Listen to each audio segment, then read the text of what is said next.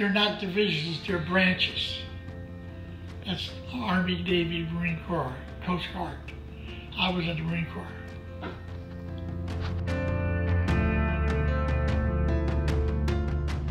After boot camp, Parris Island, South Carolina, I went to tent camp two in Camp Pendleton, California, and then out out of the country.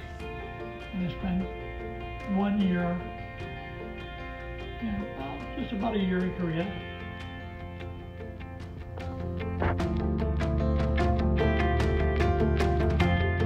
Korea, 1951.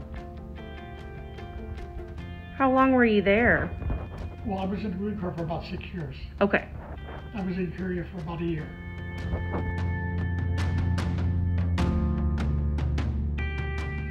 The most eventful All right. thing happened being in Korea. I am not sure how many people know that Korea was in two was north and south, and the war went on for three years or thereabouts. And part of my function, I was a machine gunner.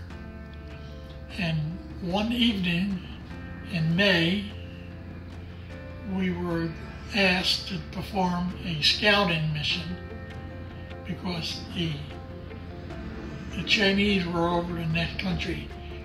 North Korea and South Korea are attached and they're separated by the Yalu River.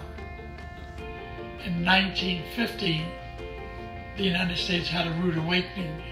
We got surrounded. We had our ass kicked by a bunch of fleas, Chinese, I want to say, and they overran and surrounded the Marines at the uh, at the Yalu and or Chosin. Everybody seems to know. So ever since that time, we put out scouting missions. And one of my jobs was while I was there to go out on one of these scouting missions in a boat going up and down the coast and maybe harassing the Chinese over in China. And I guess we were six boats with about six men each.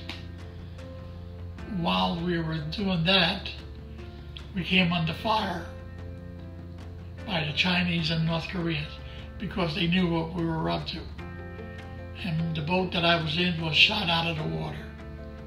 And I was in the water for about five hours. Wow.